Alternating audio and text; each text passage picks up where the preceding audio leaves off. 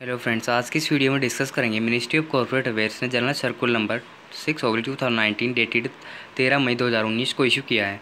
यहाँ पे एमसीए ने क्लेरिफाई किया है कि जिस किसी भी कंपनी ने बिटवीन द पीरियड एक अप्रैल 2014 से लेकर 20 अक्टूबर 2014 के बीच में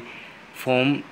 for the appointment of auditor A D T one को फ़ाइल किया था as a attachment to the form G N L two क्योंकि इस पीरियड में ये जो A D T one form था, वो एम सी के पोर्टल पर इलेक्ट्रॉनिकली अवेलेबल नहीं था। तो एज ए स्कैन करके कंपनी के ऑथराइज पर्सन के द्वारा साइन करके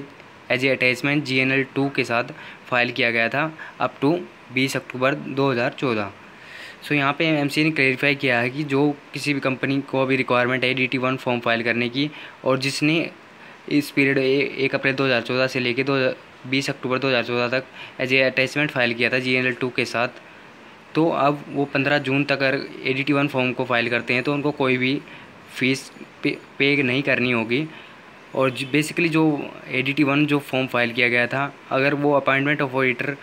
for the period up to इकतीस मार्च दो हज़ार उन्नीस तक का है तो आप इसको बिना किसी लेट फ़ीस के फ़ाइल कर सकते हैं। सिर्फ़ और सिर्फ़ पंद्रह जून तक, अगर पंद्रह जून के बाद फ़ाइल करेंगे तो जो फ़ीस होगी या फिर एडिशनल या फिर लेट फ़ीस होगी, वो एज़ पर रूल्स अप्लीकेबल होगी, जो भी as link to the paid up capital है। So thanks for watching